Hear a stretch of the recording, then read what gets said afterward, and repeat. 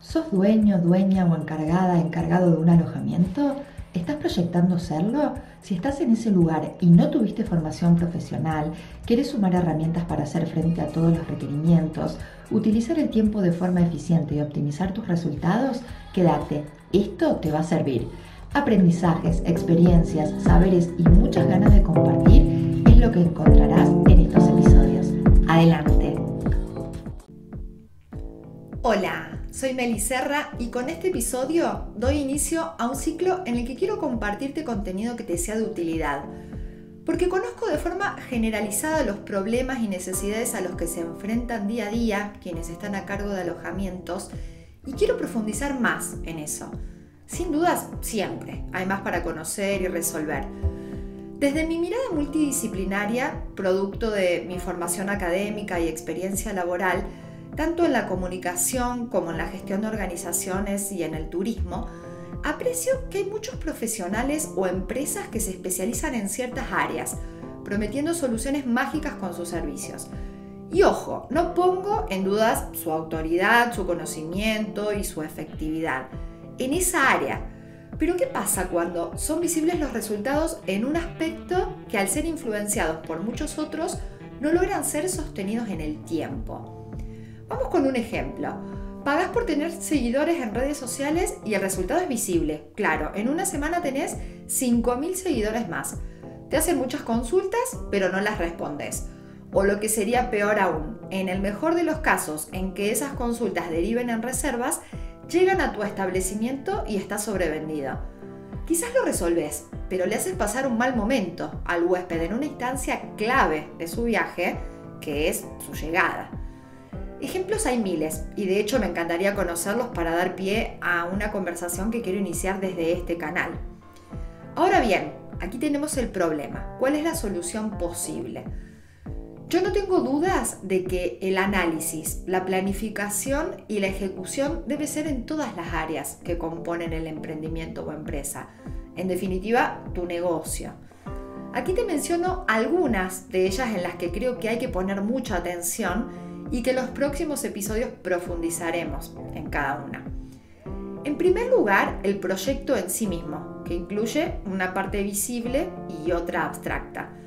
En segundo lugar, los recursos de todo tipo, humanos, materiales, tecnológicos, de conocimientos y aptitudes, los servicios. En tercer lugar, el público, es decir, el huésped, ya sea el cliente efectivo o el potencial, ese que queremos atraer y que a veces llega sin buscarlo.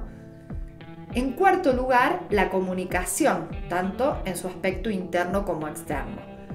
En quinto lugar, la comercialización, es decir, la venta, que está muy combinada con el cliente, la comunicación y con el área siguiente, la sexta, que sería la gestión, la parte operativa y administrativa.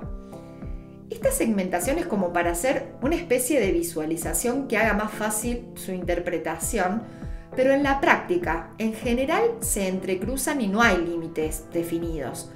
Todas estas dimensiones son igualmente importantes, condicionan y en muchos casos determinan a las demás y viceversa. Es decir, el emprendimiento o empresa es un sistema en el que cada parte es fundamental para su buen funcionamiento. Y si no lo analizamos y damos soluciones considerando esto, es posible que ciertas áreas conflictivas perjudiquen a otras que aportan muy buenos resultados.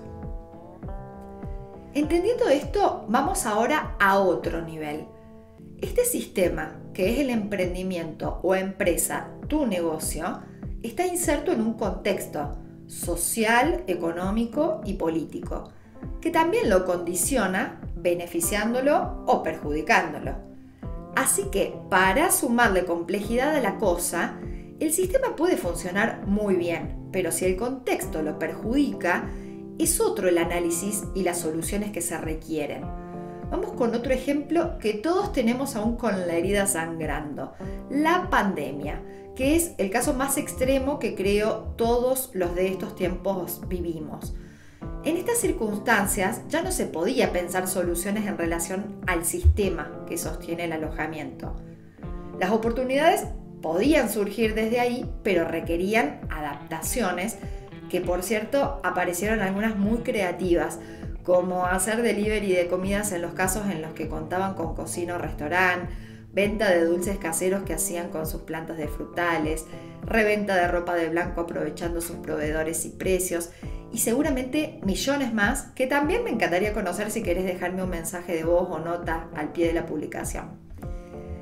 Dicho esto, en mi opinión y conociendo a los negocios desde adentro, al turismo desde sus diferentes prestadores de servicios y actividades, los tipos de vinculación que se dan en el sector y los requerimientos de los usuarios, bajo lógicas de mercado tan dinámicas y cambiantes, sin menospreciar el rol fundamental que juega la competencia, puedo afirmar, aunque repito que es mi opinión, lo que no significa una verdad, que es imprescindible el abordaje del negocio en todas sus dimensiones para aportar soluciones eficientes y resultados concretos que se sostengan en el tiempo. No sirve invertir recursos de ningún tipo si no hay una coherencia y consideración de todas las áreas que componen e intervienen en este sistema llamado alojamiento. Se me ocurren muchos ejemplos para darte, pero para este primer episodio creo que ya está bien. No quiero abrumarte ni aburrirte. Solo agrego una idea más. Una vez diagnosticado y planificado en su aspecto más general, el alojamiento o sistema, contratar profesionales o servicios especializados es óptimo. Pero primero hay que garantizar que eso puntual responde a algo mucho más grande, tanto en estructura como proyecto o en el tiempo, es decir, tiene una contribución al sistema en general a mediano o largo plazo. Es decir, puede tener un resultado en sí mismo aportando a un resultado global en concordancia y con coherencia. Y grabate esta palabra que repetiré mucho, coherencia. Hasta aquí el episodio 1, que espero sea un disparador de nuevos temas a conversar y a compartir experiencias. Espero tu calificación en Spotify y tu me gusta en YouTube si es que te gusta. Tus comentarios por redes o por el medio que más te guste. Chao.